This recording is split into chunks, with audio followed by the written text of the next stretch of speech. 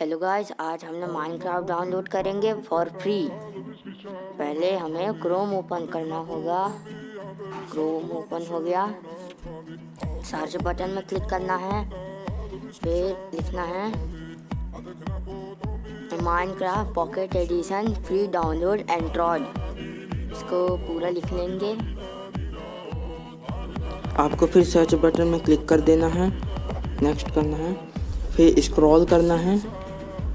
फिर आपको एक वेबसाइट दिखेगा, उस पर क्लिक करना है।